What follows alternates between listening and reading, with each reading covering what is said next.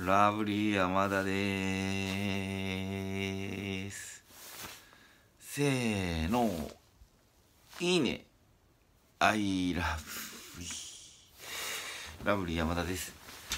今日すごい、こう、こうやる気？仕事のやる気のことで、なんか発見があったので、発表します。えー、僕、ウーバーイーツの配達にさせていただいてるんですけど、遠いところがあるわけ。例えば、高島平から和光とか、こう外観超えちゃう感じ外観。時間にすると多分30分ぐらいかかってんじゃないのかなと思うんですよね。そんなかかってないかなまあ配達で30分って結構ぼちぼちかかってるんですよ。時間。でえー、大体600円ぐらいかなもらえるの。1配達ね。30分で行って30分で帰ってくるから時給で言うと600円ぐらいになっちゃうんですよ。例えばマック。マック近いですよ。もうほんと23分で着いちゃうんですよ。近場。マックは近場が多いので。マックだと例えばもう300円でも4回やったらもう1200円じゃないですか時給的に言うと。だから1時間働いて、まあ、600円。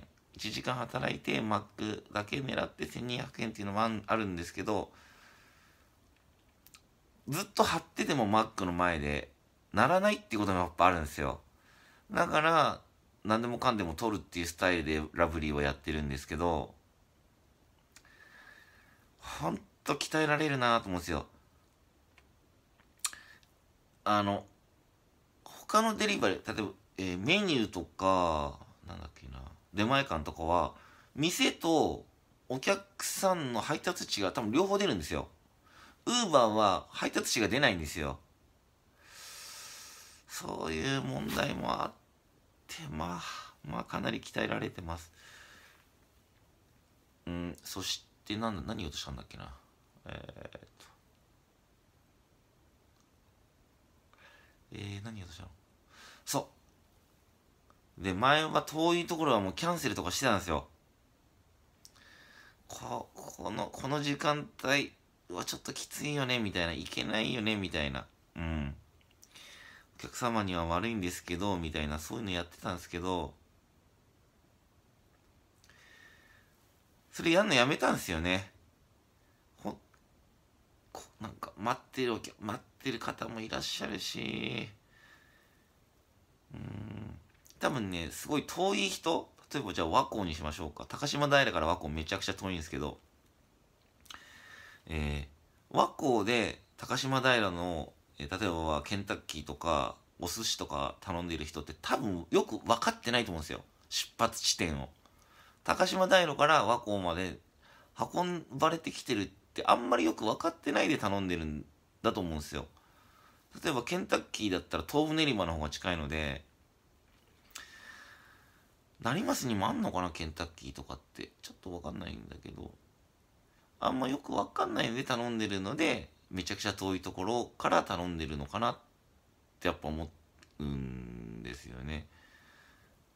例えばマック。僕高島平に住んでる住んでるのでマックを頼むとしたらまあ高島平から頼むんですよ。でも東武練馬からも頼めるんですよ。上板橋からも頼めるんですよ。そんな感じ？よくわかんないで頼んじゃってる。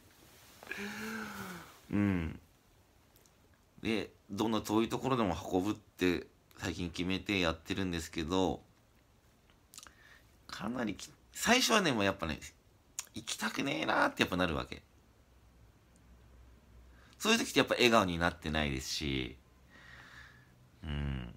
多分お客様に手渡しする時玄関に行く時もちょっとなんかやっぱラブリーが運んでるお弁当ご飯お弁当食べ物は世界で一番美味しくなってるって思ってるんですけどそういうふうにやっぱ思ったら心が思ったら手にも伝わっちゃうし商品触った時も伝わ伝わっちゃうと思うからほんと一瞬こうあ遠い嫌だなって思うんだけどこうちょっとま切り替えてよしやるぞみたいな。ラブリーいけるぞみたいな。こう心の切り替え。あ美味しそう。美味しい。美味しかった。これも当てはめられるよね。完璧にね。